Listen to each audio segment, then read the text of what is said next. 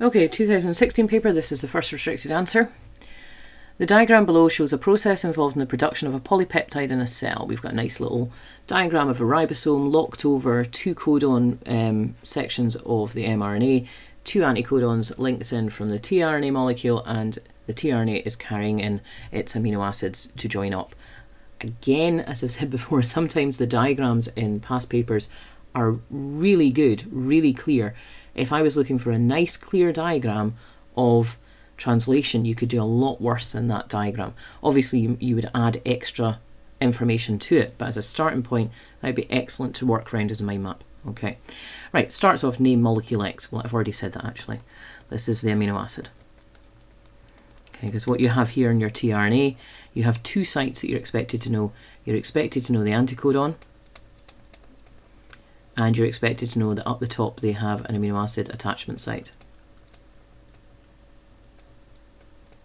and the amino acid attachment site will be determined by the anticodon, so it's specific. State one substance other than ribosomal rRNA that makes up the ribosome. Straight KU. Okay, the ribosome is a protein and RNA complex, um, so it's just protein. Okay, many polypeptides are modified in order to produce functional proteins. Describe one way in which a polypeptide could be modified. Okay, this you don't need to know anymore. This is out of the course content. Uh, this is post-translational modification.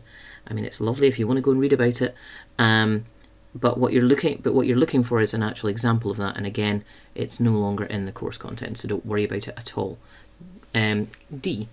In some eukaryotic cells, different mRNA molecules and therefore different proteins can be expressed from a single gene. Name and describe the process which results in different mRNA molecules being expressed. Okay, I think this is perfectly all right. Okay, this is alternative splicing.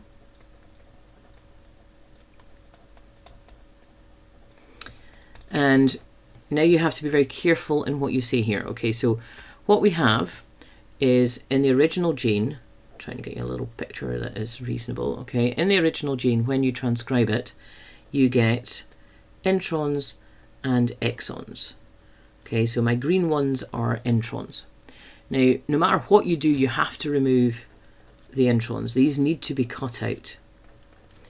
But what you can do is alter which exons you keep. Okay, so the exons, this is exon 1, 2, 3, 4, 5. Now you can do anything with that. You can do 1, 2, 3, 4, 5, as I might you're expected. You could go, I'm just going to have 2, 3, 4, 5. I'm going to have 1, 3, 5. I'm going to have 1, 2, uh, 4, 5.